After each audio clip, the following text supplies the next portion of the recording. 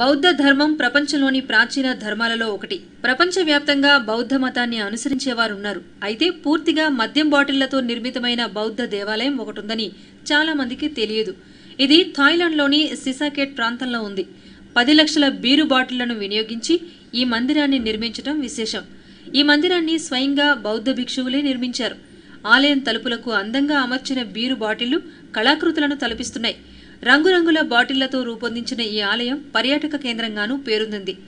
బౌద్ధం దేనిని తిరస్కరించదు. ప్రతి అంశంలోనూ పాజిటివ్ సెన్స్ను మాత్రమే గ్రహిస్తుంది. అదే స్ఫూర్తి ఈ బీరు బాటిళ్ళ దేవాలయ నిర్మాణంలోనూ కనిపిస్తోంది. తాగి పారేసే వాటిలో సైతం దైవాన్ని చూడాలంటే చూడొచ్చు. కాళ్ళ కింద తొక్కేసిన రాతి ముక్కే శిల్పంగా మలిస్తే దైవమైనట్టుగా అన్నింటిలోనూ ఆ పరమాత్మ ఉన్నారన్నదే ఈ దేవాలయ నిర్మాణ స్ఫూర్తయి ఉండొచ్చు ఏదేమైనా ఈ దేవాలయం మాత్రం కళాత్మకంగా గొప్ప మాస్టర్ పీస్ అనే చెప్పాలి.